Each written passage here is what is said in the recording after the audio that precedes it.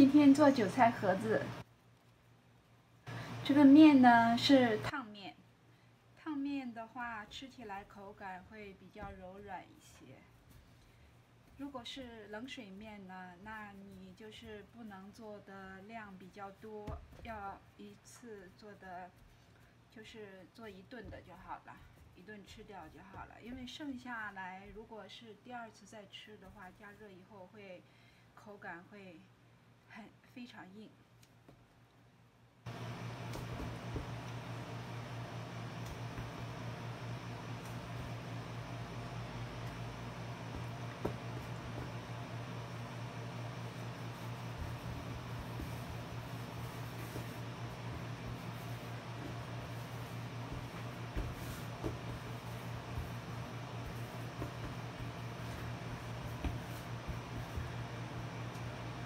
我先生不在家，所以我只做我自己一个人的量。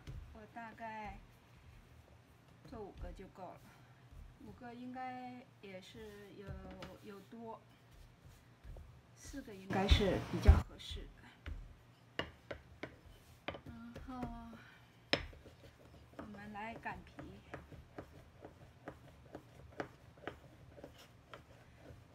皮的话，尽量要擀薄一些。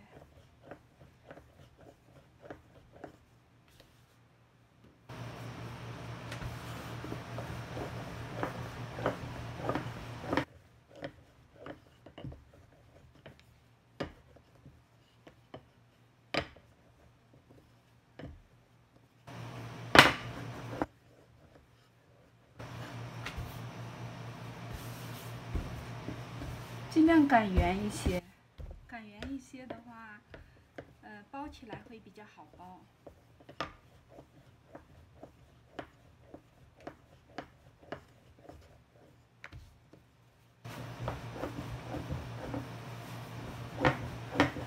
台湾的面粉大部分是进口的，因为台湾不能种植小麦，所以呢都要呃从呃国外进口。呃，大部分是从呃加拿大呀，从美国进口，所以呢，呃，因为我的老家在山东嘛，所以它这个呃面粉的特性和山东的面粉的特性和老家面粉的特性是不一样的，它的它的粘性是否会比较高一些？如果我在老家的时候，我擀这个面皮的时候，呃，它不会这样粘。这个面粉呢，它它擀皮的时候会比较粘，嗯，案板。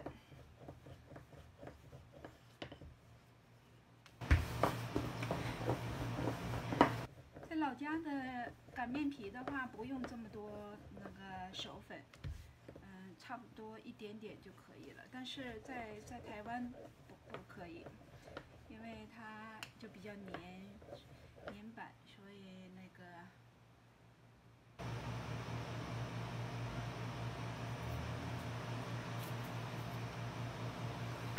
一定要撒手粉才。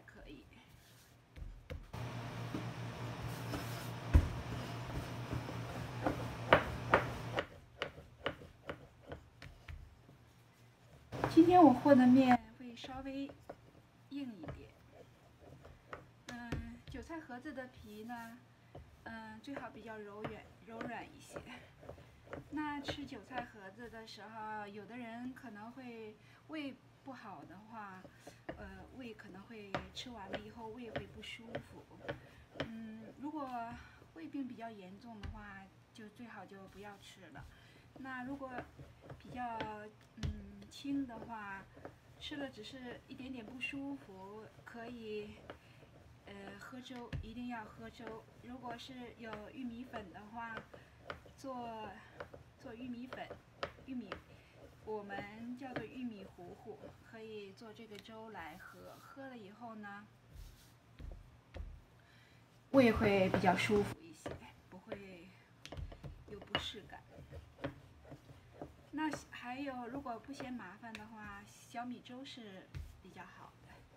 但是台湾的小米呢，嗯，它它那个品种也是和和和我的老家的那个嗯品种不一样。我老家的小米，如果煮粥的话会非常的粘稠，就是会有很香的味道。但是台湾的小米，我不知道是不是这边种植的哈，会是比较水，啊，就是那种粘稠度出不来，就是怎怎么样煮都是水水的，嗯，那个香的味道也也不足。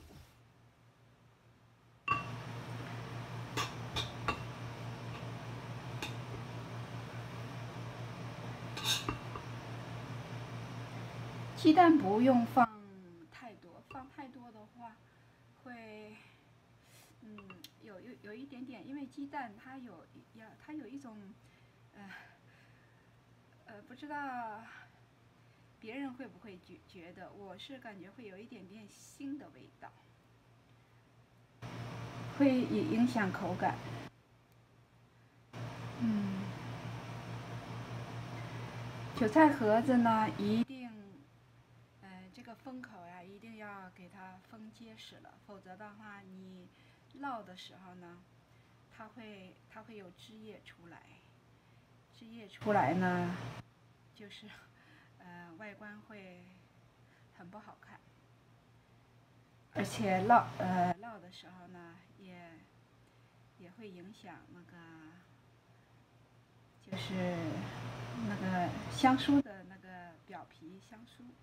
它会有一些发硬，不酥，所以呢，你在捏这个花边的时候呢，稍微用力一下，要让它封紧了，封住。主要的目的就是不要让汤汤汁出来。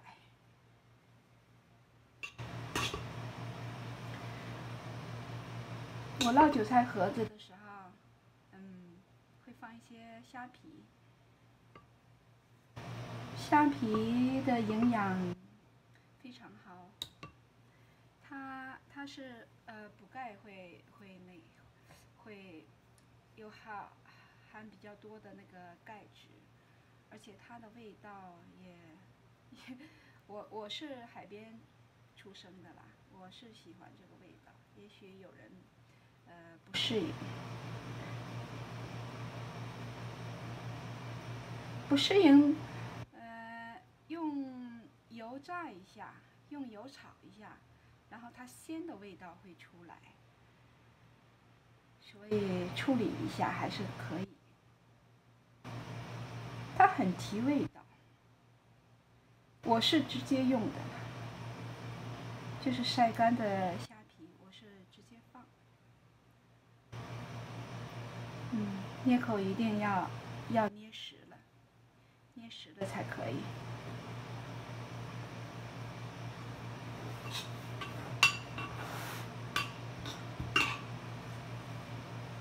我不太能看得到我的镜头，因为我只是一个人随便拍的视频，呃，有可能会出去，有可能角度嗯不是很好。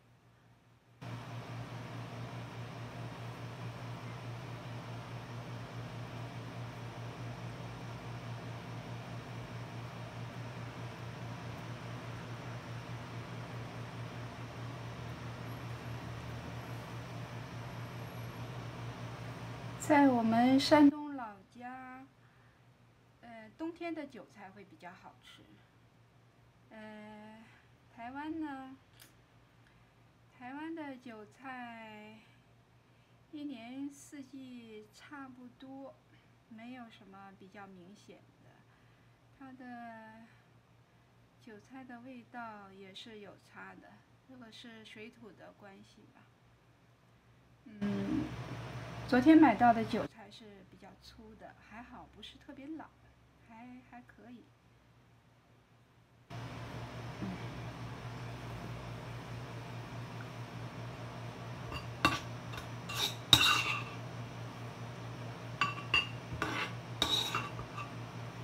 我的馅料只够包四个，嗯，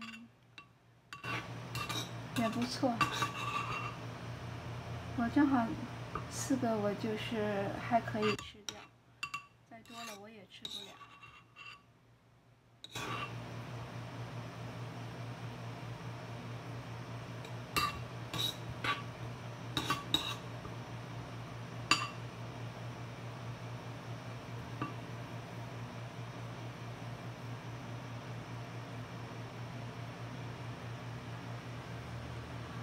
为什么我的韭菜盒子一定要捏捏上花边呢？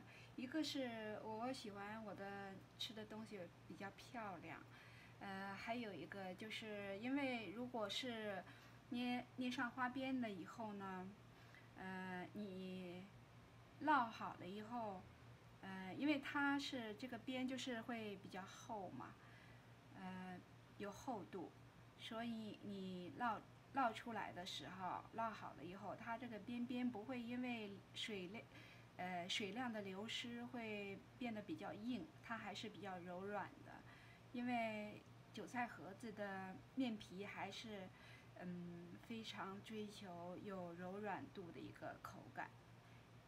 否则的话，它也就不用，不用用那个烫面了，也就用凉水面就比较，比较那个也不费时间，也比较快捷。所以呢，如果是追求喜欢，嗯，比较软的口感的话，就用烫面。用烫面呢，呃，再捏上这样一层花边。你这个边边呢，在呃烙好以后呢，吃的时候会比呃比较软，而不是硬硬的一个口感。好了，我就包完了，那我就要去烙了，很快的。